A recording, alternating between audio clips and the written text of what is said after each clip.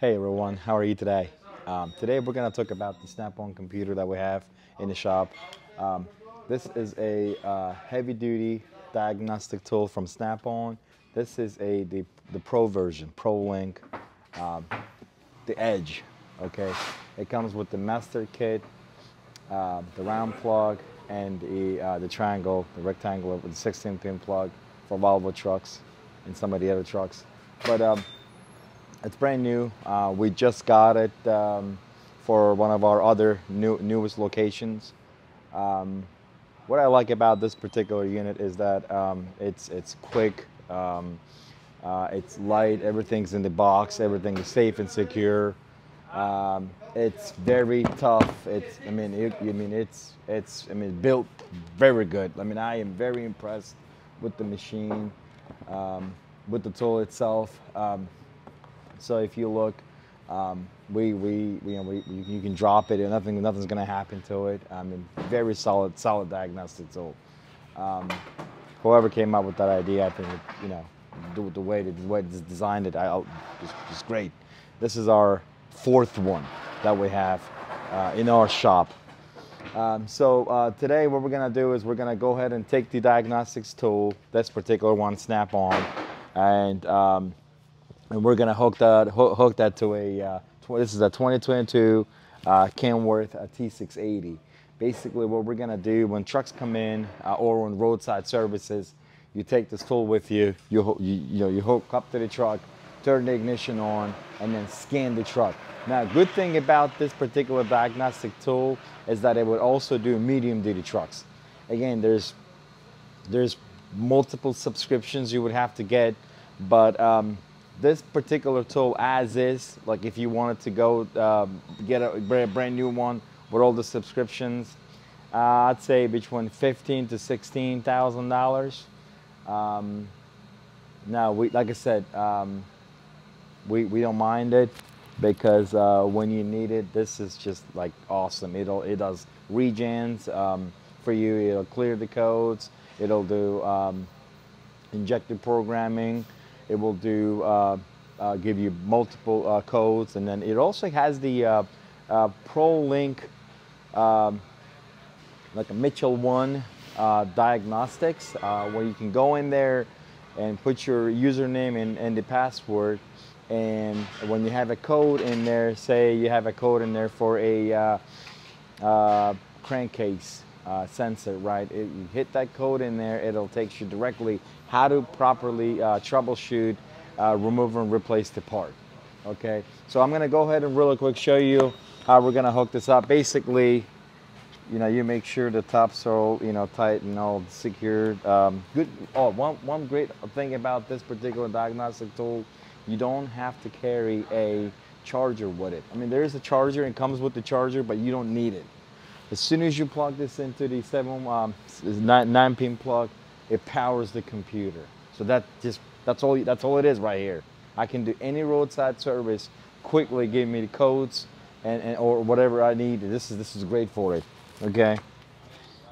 As opposed to the uh, laptops and all of that. So basically, what you do is you plug this in, seven way, excuse me, nine way plug right there, round plug.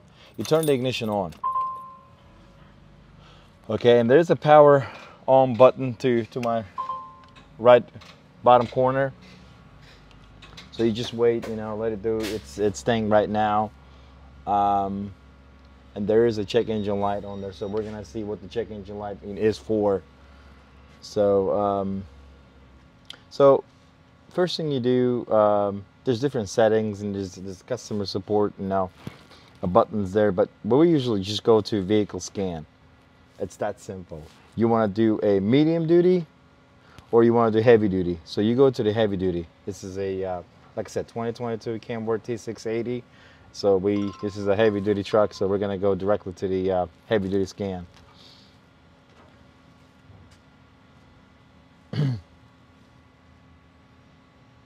so depending on trucks, different make and models, um, this particular one will do any trucks. It'll do Peterbilt trucks, it'll do Volvo, it'll do Mack, it'll do Internationals, you know, Freightliners, and this is a Kenworth again.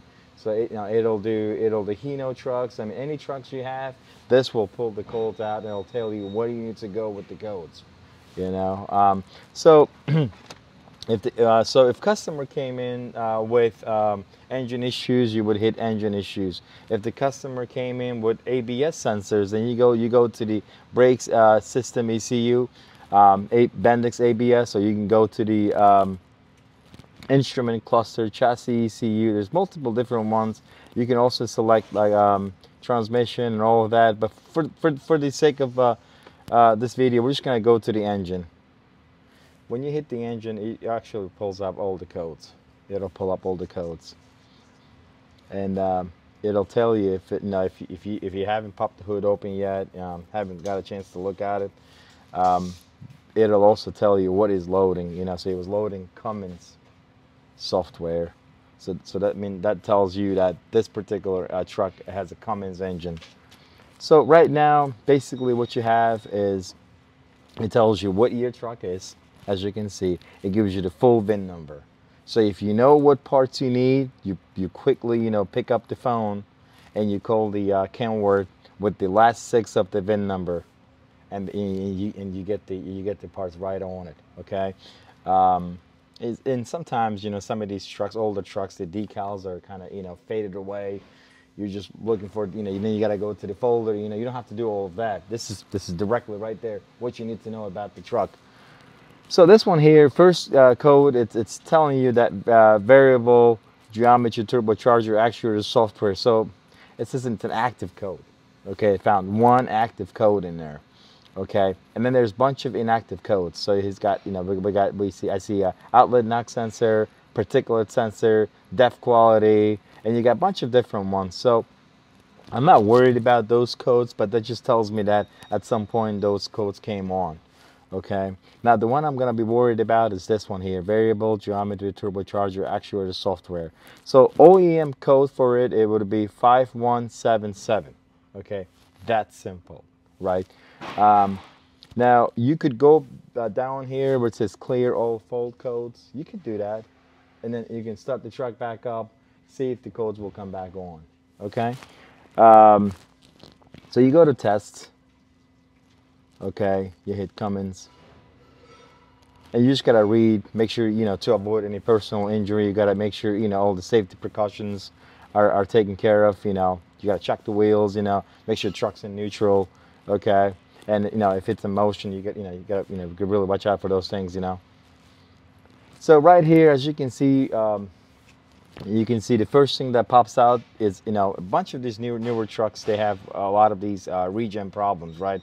They're they're broke down on the side of the road truck will not go uh, more than five miles an hour. Um, you get there and and it says that it needs a parked regeneration right the first thing you do you clear the codes right just just take I, what I would do is I, I, I would take pictures of the codes before and then clear the codes and come up here where it says after treatment DPF regeneration. So you boom, you hit that. It's it's that, that this is this is why I love it. You know, it's just it's that simple. Again, you have to make sure you read the warnings. You know, just basically saying that you know keep a fire extinguisher nearby in case of something catches on fire while the truck is doing the regen. It just says make sure the truck's on uh, regeneration. You know, it just there's gonna be high temperatures and all kinds of. Uh, so you just gotta you know make sure you're you're aware of all the you know all of that. Boom, right here, what it's saying, what it's telling me now, it's saying that the truck is not running. Okay, as soon as you run the truck, it'll be um, roughly around 400 RPMs, above 400 RPM. And all you gotta do, just hit the start button. That's it. That's all you do. It's, it's that simple. Like I said, I mean, any of you, uh, any of the mechanics out there, any of the roadside companies out there, uh, just trying to get into the business, I highly recommend this. And I know it's a lot of money, but in the long run, it pays off. Instead of having these different laptops, uh, you go in there, you're trying to scroll through, and, and now you have a charger. Now you're trying, you know, you were very busy the night before, you forgot to charge the uh, uh, laptop and now you're out there and you don't have the charger with you or you have the charger with you but you know you don't know how to charge it or, or, or somehow you have a um, power inverter now you're charging the, um, the, the laptop and it just it's just now you now you need more cables. Uh, I don't know. Just I think in the long run, you want something very. Um, you want something straightforward. Okay, this will just you hook up straight to the uh, nine pin plug, the round plug. You go into heavy duty, and you go into test. Clear the codes, run regen. That's what you want. Okay, like I said, right now as you can see, my ignition key switch is on and it's charging. That's how that's how simple it is. So, and then you know going down the you know going down the list, you'll have reset um, DPF um, parameters. You're gonna have after treatment DEF uh, system. There's, there's all kinds of different tests that it will want you to do. You can do injector resets, fuel resets. Um, you can do uh, VGT, actuator installation and cal. This is actually big, okay? Um, a lot of companies would have to call a dealership um, before they install the new actuator onto the turbo on a Cummins. But here you don't have to. You have a you have a, um, way to do it yourself from you know in the shop. You can save that money for the customer if you can do it yourself. Okay. I mean there's I mean there's just so much in here really. I I say I'm pretty happy. You know, this like I said, this is our fourth one already. Uh, and then there's different calibrations you can do. Again, you know, that that'll depend from trucks to trucks. You know, like cause some Cummins will have a lot more parameters. Some Cummins engines won't have that. You know, there's there's there's Volvo engines. They'll have their own parameters. So it, it's gonna depend. You know. Um, but then you can right here you, you're gonna see your uh, gauges everything about the truck, you know. Let's just say, uh, let's just take the uh, temperatures, right? This will pretty much tell you all the temperatures, all about your truck, you know. Say you're in the middle of a job and you don't know if your knock sensor is working or not. But one way to go in here, make sure the temperatures are good. Make sure, you know, your temperatures are going up properly. So you can see all of that here, right there. All right, thank you. Um, this is going to be the end of the video. Uh, if you have any questions, please uh, let us know. And just remember, we are not sponsored by Snap-on. Um, this is just we, you know, this is what we recommend and this is what we suggest. Please subscribe, hit the like button, and uh, comment. Thank you.